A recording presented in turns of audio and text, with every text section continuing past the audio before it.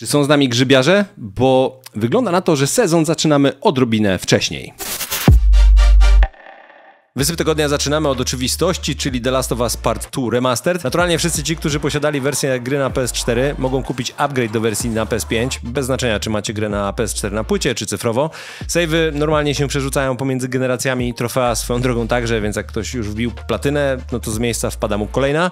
A to, co zostało usprawnione w tym wydaniu, no to podbita rozdzielczość i wielkość tekstur, jakość ogólnie, e, tak upraszczając, e, jest wsparcie DualSense, e, spora ilość nowych elementów kosmetycznych, jak chociażby kostiumy dla Ellie i Abby oraz e, zupełnie kilka nowych rzeczy. Pierwsza z nich to swoisty tryb roguelike e, o tytule Bez powrotu. Zabawa tutaj polega na tym, że na kolejnych takich małych lokacjach staramy się pokonać kolejne fale pojawiających się przeciwników. Mogą to być ludzie albo zarażeni. Reasumując, jest to ciekawe, muszę przyznać, tryb nie jest za duży, nie ma zamulania tutaj, tylko od razu akcja.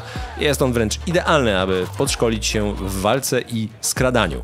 Jest tryb speedrun, e, mnóstwo filtrów, filtrów do kupienia, można sobie obejrzeć modele y, postaci 3D, musimy je oczywiście najpierw kupić, to akurat wszystko jest podobne jak było w wersji na PS4, no ale też jest mnóstwo usprawnień, ułatwień i dostosowywania gry dla graczy z różnymi ograniczeniami, a jak Was interesuje proces robienia gier, znajdziecie też tutaj kilka materiałów wideo oraz audio z procesu twórczego, w tym trzy tak zwane usunięte poziomy, czyli niedokończone etapy, które nie weszły do gry, a które teraz można sobie sprawdzić.